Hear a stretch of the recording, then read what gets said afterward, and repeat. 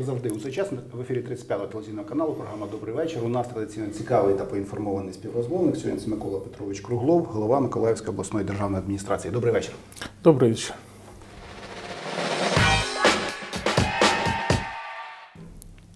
Итак, Николай Петрович, тема важная и актуальная. Социальные инициативы президента Украины. Сейчас они в центре внимания по понятным причинам. А, Оппозиция называет их предвыборным популизмом. Власть говорит о своевременности этих шагов. Но, наверное, в любом случае нужно, наверное, признать, что это достаточно серьезная нагрузка, новая нагрузка на бюджет. Какие источники пополнения бюджета для выполнения этого всего, вот, скажем, вы видите здесь, в Николаевской области? Мы э, давайте начнем со следующего, э, с позиции, скажем, оппозиции. Позиции, которую занимают народные депутаты, находящиеся в оппозиции.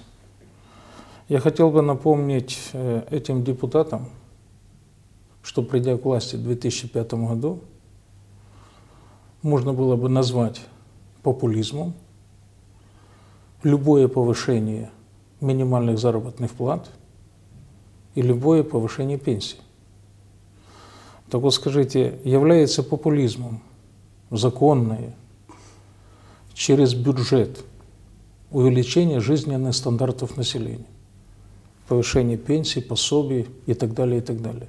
Это обязанность депутатов, это обязанность правительства каждый год. И мы это делаем на протяжении двух лет.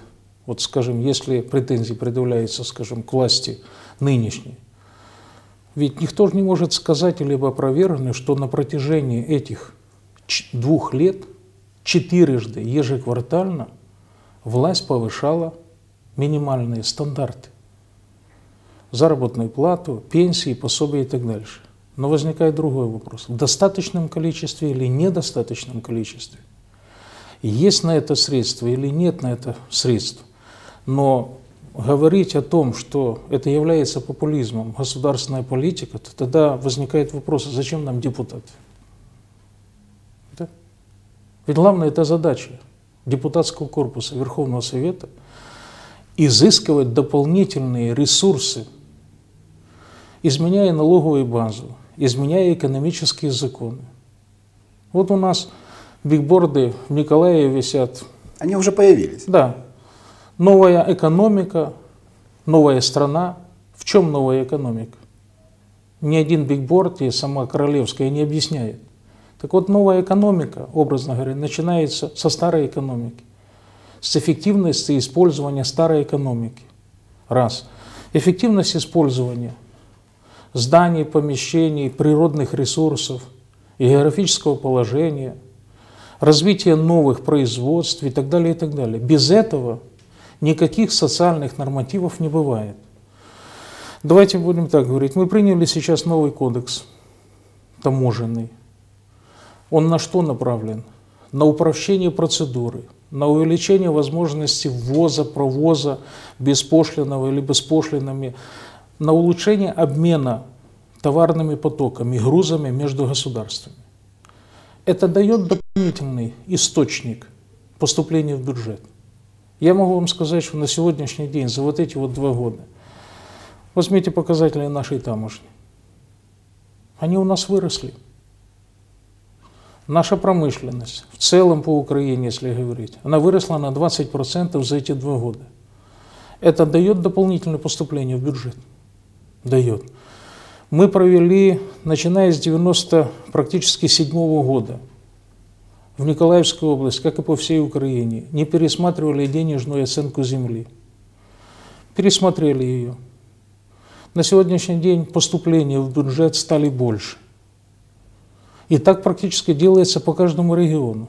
Скажите, пожалуйста, куда направлять эти деньги должно государство? Это государство обязано направлять эти деньги на увеличение социальной защиты наших людей. В первую очередь на пенсионеров, на детей, на многодетных, в том числе рассматривая вопросы школы, больницы, детские сады, увеличение питания, стоимости питания и так далее, и так далее. Другого просто варианта не существует. Но есть и другая сторона этой медали. Вот, например, предприниматели, которые работают с таможней, говорят о том, что сегодня в абсолютно законном правовом поле таможня в разы по отдельным группам товаров ввозимых увеличила таможенные ставки. И понятно же потом, что вот это увеличение, оно будет угу. вот тут вот в рознице, и мы все равно отдадим эти деньги. Так, и тут ведь важный вопрос. Вот э, власть я будет... вот отвечу сейчас вам да. сразу на этот вопрос. Вот если бы вы хоть один раз участвовали в раскрытии, э, перевозят все грузы в контейнерах. Если вы посмотрели, Я что понимаю, написано в контейнерах, вы, вы же посмотрите, что у нас делается. Все уходят в марках мировых, да, обувь неплохая, одежда неплохая и все остальное. Откуда она идет? Из-за рубежа.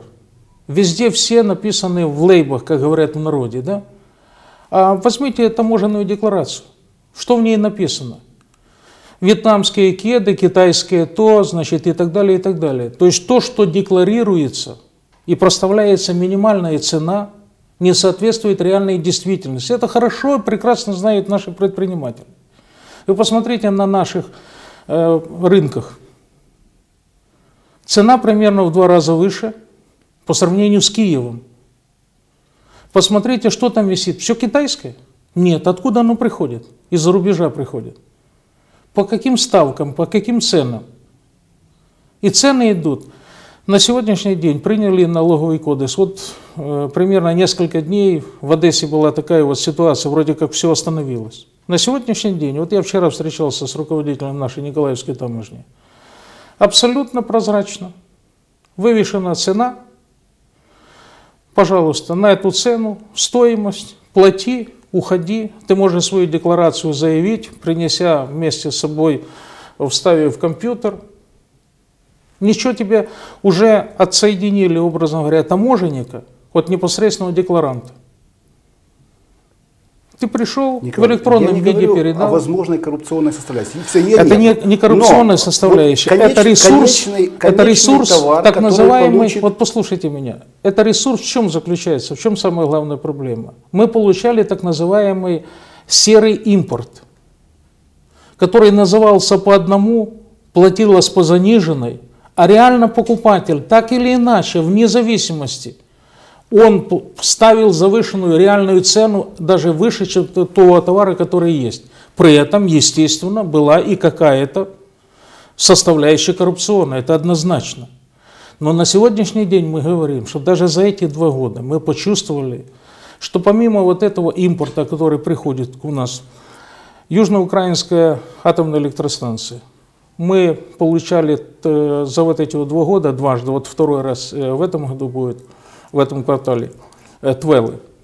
Это ни много ни мало дало свыше 200 миллионов дополнительно поступления, только за растаможку этих Твеллов на атомную электростанцию, дало дополнительное поступление в наш бюджет. Куда его девать? Снова вопрос, да? Опять же сюда. Почему мы таким образом говорим? Опять же на примере Николаевской области. Я называл цифру вчера на брифинге. Больше 110 тысяч пенсионеров Николаевской области получают пенсию с 845 гривен. Это нормальные условия? Нет, конечно. Надо его повысить? Надо. Должно этим заниматься правительство? Должно. Должен этим заниматься Верховный Совет? Должен.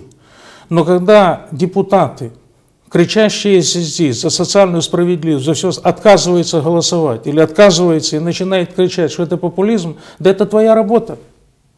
Постоянная ежедневная работа. Ты должен, зная ситуацию, зная реальное поступление, входить постоянно в, в комитеты Верховного Совета с предложением о пересмотре бюджета, об изменении ставок налогов либо и так дальше, и так дальше. Это обязанность создавать нормативно-правовое поле каждого депутата и каждого, подчеркиваю, правительства. Поэтому здесь ни на йоту нет популизма.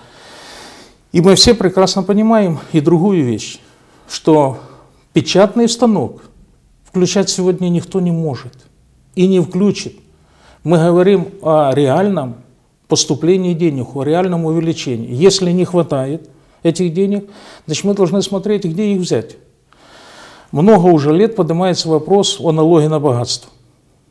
Что сказал президент? В самое ближайшее время, 7 или 10 дней, этот закон практически будет в Верховном Совете. Мы же прекрасно понимаем, разница между очень богатыми и очень бедными велика. И в количественном выражении, в количестве людей. И поэтому задача-то на сегодняшний день стоит, меняя закон, чтобы не получилось, что по этому закону те, у кого больше, как в народе говорят, деньги идут деньгам. Вот на сегодняшний день речь-то идет о простом. Налог на богатство, налог на роскошь. Куда он должен идти? В бюджет. Для чего? Для увеличения пенсий, пособий и так далее. Да. Есть у нас вот для этого возможности. Посмотрите на по нашему Николаеву. Количество дорогих автомашин, количество ресторанов. Мы говорим, что на сегодняшний день почти 12 гривен, значит, одна, один литр бензина. Меньше стало машин в Николаеве? Абсолютно. Меньше дорогих машин стало? Нет. Посмотрите, кто где отдыхает. То есть на сегодняшний день у них есть ресурс. У других ресурсов не хватает, образно говоря, на хлеб, на жилищно-коммунальные услуги и так дальше. Поэтому это вполне нормально на сегодняшний день, скажем, введение этого налога. Что завтра депутат, который кричит, что это популизм, не будет голосовать за этот налог? Сколько времени кричали и все говорили о том, что нужно – разобраться с э, фирмами, которые находятся в офшорах, потому что уходит часть налогов. На сегодняшний день жестко поставлена задача. И она будет решена, потому что она дает возможность получить дополнительный ресурс бюджет. Время такое, когда мы уже подошли, будем откровенными в этих делах, э, количество денег, которое попадает через бюджет – социально незащищенным людям недостаточно для того, чтобы они могли нормально вести свою жизнь. Если пенсия, я называю цифру 845, а прожиточный минимум уже на сегодняшний день за тысячу перехватил, значит мы бросаем просто этих людей. Мы не имеем права этого делать. Популизм это или нет? Это обязанность государства. Ситуация с азимами в Николаевской области в том числе. Э, на сегодняшний день уже известно, сколько нужно пересевать? Э, пересевать известно. Мы на сегодняшний день, э, я хочу сказать, к самому пересеву мы готовы. У нас есть достаточно зерна, семенного фонда. Мы имеем горючие смазочные материалы. Мы имеем э, ресурсы, уже начали во многих районах, даже вот в этой ситуации мы начали подкормку тех озимых культур, которые у нас на сегодняшний день сохранились. Э, сложность заключается, скажем, даже не в том, что э, в чем-то кому-то, образно говоря, может не хватать какого-то ресурса. Время спрессованное. Надо успеть, образно говоря, пересеять и одновременно начать сеять, посеять то количество, э, скажем, зерновых культур, которые считаются у нас, значит, яровыми. Вот будем говорить, 300 где-то 310-320 тысяч. Это надо пересеять.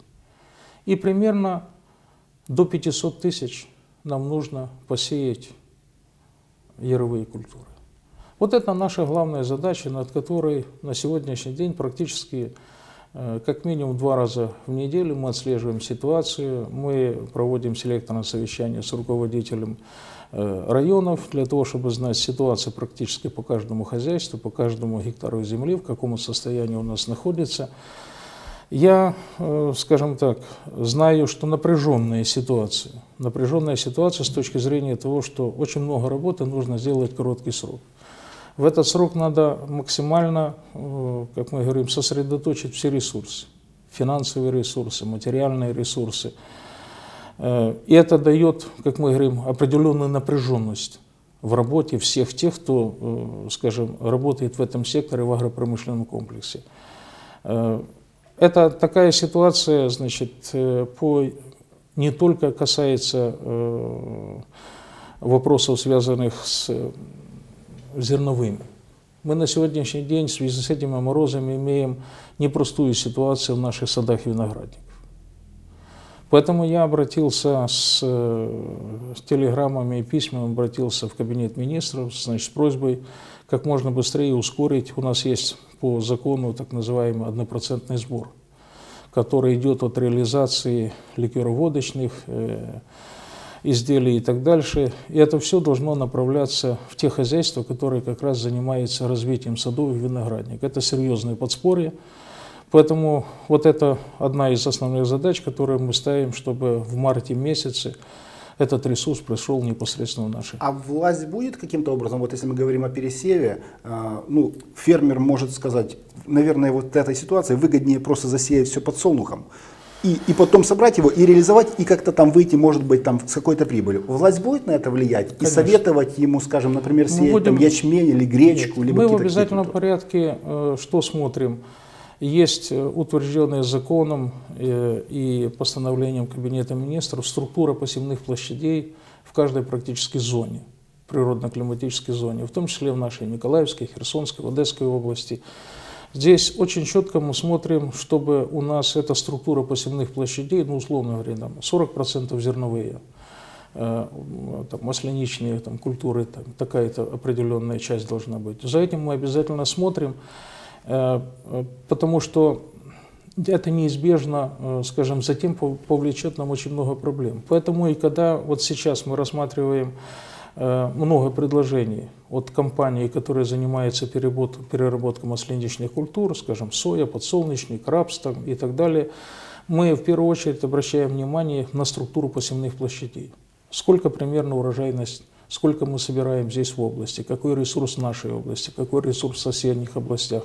В целом по Украине точно такая же работа ведется для того, чтобы не получилось, что мы настроим сегодня перерабатывающую промышленность, она реально окажется без ресурса.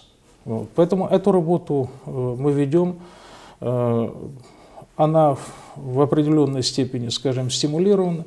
И вот на сегодняшний день одна из главных задач, которую на сегодняшний день как мы говорим, окончательного решения не было, но оно будет в самые ближайшие, скажем, неделю, 10 дней будет принято решение, кого мы в большей степени будем поддерживать. Вот возникает вопрос, э, в каждой области своя структура.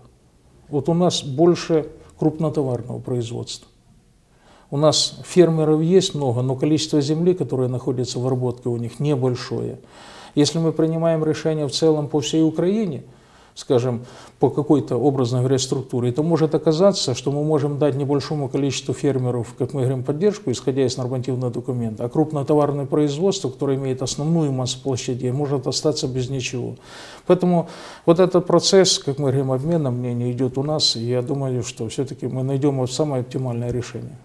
Газификация Николаевской области. Ну, собственно, достаточно активно ведутся работы, несмотря на погоду, они ведутся и сейчас. Но, вот, скажем, а, жители сельских районов уже после Нового года а, стали получать от Николаевгаза, ну, такие, скажем, письма счастья, где произошел перерасчет за газ за прошлый год, и достаточно серьезные суммы сегодня нужно людям доплатить. И ну, мы же понимаем, почему это происходит. А, и цены на газ, понятно, какие. Нет. И, а почему? Я не понимаю. Я, собственно, к, к чему мы, я, собственно, к чему веду. Вот это вот э, сейчас стратегически избранная линия на такую массовую газификацию районов, которые до сих пор не газифицированы. При ценах на газ, которые есть. А, не получится ли так, что завтра окажется, что эта линия ошибочна, и нужно искать какие-то другие способы? Вот я, э, как раз вы затронули тему зная, что неизбежно мы можем к ней вернуться, вот я хотел бы вам просто сказать, э, привести такую цифру. Вот рейтинг стран по стоимости природного газа для населения. Вот пересчете на рубли в Украине 3,36 стоимость газа сегодня, а в России 3,74. 3 рубля 74 копейки. О чем это говорит? Мы на сегодняшний день приняли такую политику и считаем ее правильной, что основным источником потребления у нас является э, для отопления, для комбыта является природный газ. Потому так сложно мы и ведем переговоры, потому мы, ну, как мы говорим, удерживаемся в этой ситуации, э, как мы говорим, не стараемся, стараемся не попортить отношения с стратегическим партнером. Мы за счет бюджета на сегодняшний день, опять-таки, вот на основании вот этих цифр, вы видите – потому что если сравнить стоимость газа для населения, ту, которую платит э, человек непосредственно, он платит там самостоятельно, здесь за счет бюджета идет очень большая дотация. Вот наша главная задача э, сделать так, чтобы стоимость газа по контракту была значительно ниже, как минимум в два раза по сравнению с той, которую мы имеем на сегодняшний день. И тогда сам вопрос практически отпадает. Совершенно верно. Вот, поэтому на сегодняшний но день... сегодня такая ситуация да, как но есть. сегодня такая ситуация есть, и, и Виктор Федорович Янукович четко сказал, изменения цены на газ для населения не будет. И то, что вы сказали, я разберусь. Это может быть какой-то конкретный случай, либо это система, но повышения цены на газ для населения не было. И вот наша главная задача, почему мы ведем разводку газа, скажем, по населенным пунктам, у нас тут работы, как мы говорим, не початый край еще, именно связано с тем, что пока на сегодняшний день мир не пришел, не нашел другого источника по газоснабжению. И вся Европа, и Соединенные Штаты, и все остальные используют на сегодняшний день природный газ. Да, есть, э, скажем, источник электроэнергии, но в нем есть свои минусы и плюсы. Южноукраинск. Ну, в общем на сегодня отстраненный мэр э, Андрей Стулин инициирует сессию городского совета. На момент записи мне, например, неизвестно, началось там что-то происходить, не началось. Но на завтра исполняющий обязанности городского головы инициирует также сессию. Вот это двоевластие, и как долго это еще Двоевластия никакого нет. Я специально ездил в Южноукраинск и в присутствии надзирающих структур прокурора, собрав часть населения, которая пожелала прийти в Дом культуры, четко и однозначно объявил, в том числе в присутствии гражданина Стулина, о том, что Стулин не является мэром города Южноукраинска. Законным путем, в соответствии с законом о местном самоуправлении, сами же депутаты, проголосовав на сессии 31 голосом, приняли к сведению о том, что их мэр нарушил украинское законодательство, и на основании решения суда они приняли эту информацию к сведению таким образом, как это говорит закон. С этого момента Стулин перестал быть мэром города. Печать он передал? Печать он обязан передать. Если он не передает печать, и это будет, образно говоря, доказано, что она у него находится, значит, он будет нести ответственность вплоть до уголовной.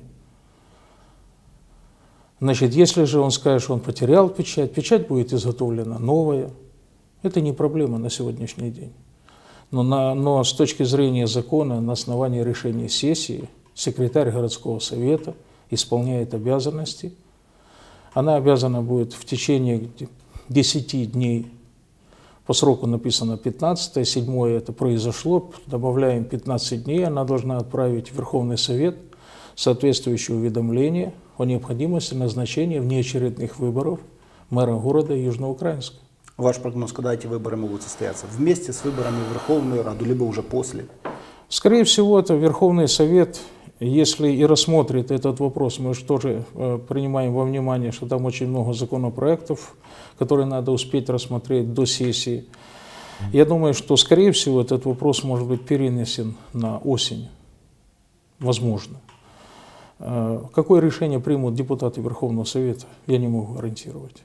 Но власть существует, исполком есть, сессия есть, депутатский корпус есть, секретарь, исполняющий обязанности мэра есть, поэтому никакого двоевластия нет. Андрей Стулин может дальше баллотироваться и участвовать в этих новых выборах? И может победить по всей вероятности?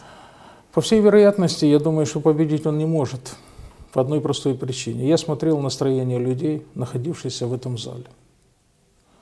И в то же время я, находясь в этом зале, говорил, что единственный случай в Украине, и у нас, тем более в Николаевской области, когда избиратели судятся со своим городским советом, со своими избранниками, во главе с мэром, который незаконно поднял тарифы. Мы его предупредили незаконно, прокуратура предупредила незаконно, суд обязал его остановить, отменить это решение. Что еще нужно народным избранникам, да? Но упрямо человек стоит на защите непонятно чьих интересов. Ведь его же избирали люди. Поэтому для меня, как я уже говорил, Мэра Стулина, как мэра Южноукраинска, не существует. В истории он остался.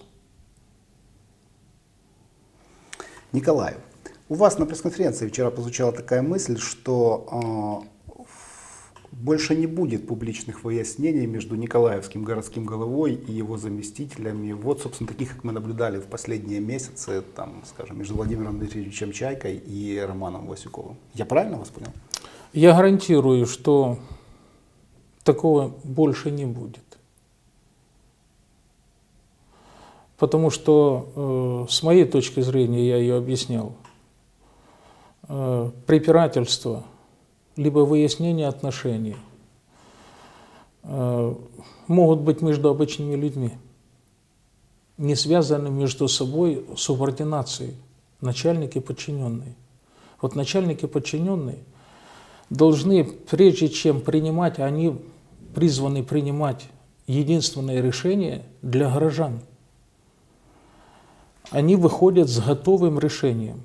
И вот это готовое решение может обсуждаться на исполкоме в подавляющем большинстве членами исполкома, которые не являются постоянными работниками исполкома. То есть обычные граждане, которых делегировали и избрали депутаты непосредственно уже в составе исполкома, врачи, учителя, предприниматели, люди разных профессий, у которых своя есть работа. И вот они, когда приходят на заседание, они видят документы, они видят подготовленное решение, они могут задавать вопросы, они могут спорить о чем-то, они могут просить, чтобы им в чем-то объяснили, если кто-то до этого времени не посмотрел документы в рабочем порядке. Но позиция работников исполкома может быть только одна, когда выносится документ на рассмотрение исполкома. Других вариантов просто не существует. В противном случае это некачественная, непрофессиональная работа. Вы же ни разу не видели, чтобы мой заместитель спорил со мной или доказывал мне через средства массовой информации. Нет, это мы самое, не видели такого. Это самое смешное. И я хочу сказать, что такого никогда не было. И еще раз повторяю, что это в большей степени по молодости, по неопытности. Владимир э, Дмитриевич опытный человек, уже, как мы говорим, серьезный игрок в таких делах. Его заместители, молодые ребята, пришедшие из бизнеса, э, во многих случаях, может быть, не подготовлены. Вы видели, скажем, возможности или спорные ситуации, когда бы первый заместитель мэра города спорил бы? Нет, Нет я не видел таких Не ситуаций. видели, да. Потому что он опытный чиновник. Мы его делегировали из облгосадминистрации в помощь. Молодые ребята, которые пришли, они не имеют этой подготовки чиновника. Да. Поэтому это вполне естественно, что такие вопросы возникают. Но такие вопросы, они имеют право на спор. Но спор должен быть в кабинете, не на людях потому что на людях они должны выйти с готовым решением, комфортным для населения. Роман Васюков производит впечатление человека, который искренне переживает за дело. Да. Я, я в этом нисколько не сомневаюсь, о том, что у него есть желание сделать лучше. Иногда, вот в части по тем самым автобусам, которые возникали вопросы, мы говорим, что произошло здесь. Процедурные вопросы нарушены. В первую очередь нарушены процедурные вопросы. А этот процедурный вопрос ущемляет интересы других субъектов хозяйствования, которые работают на маршрутах, на линиях. Но я задавал вопрос всем спорщикам. Я говорю, люди в этом вопросе выигрывают или проигрывают? Люди выигрывают.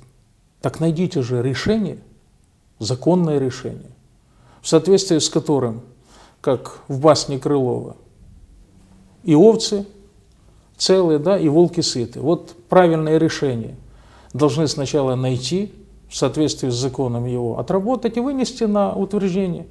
И избиратели только спасибо скажут. История с потенциальными кандидатами в народные депутаты от партии регионов по мажоритарным округам э, в городе Николаеве Николаевской области. Также достаточно резонанс она, э, собственно, имеет, ну, во всяком случае, в интернет-СМИ, э, в интернет-сообществе.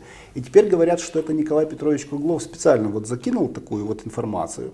Всем известна ваша, ну, скажем, привычка соци- социологию получать там, по Да. тому или иному вопросу и по- потом принимать окончательные решения. Конечно. Вот это такой как бы заброс. И окончательный перечень выдвинувшихся потом кандидатов может быть совершенно другим. Что вы Абсолютно. скажете? Вы абсолютно правы. Вы понимаете, я не имею права на ошибку. Как руководитель партийной организации.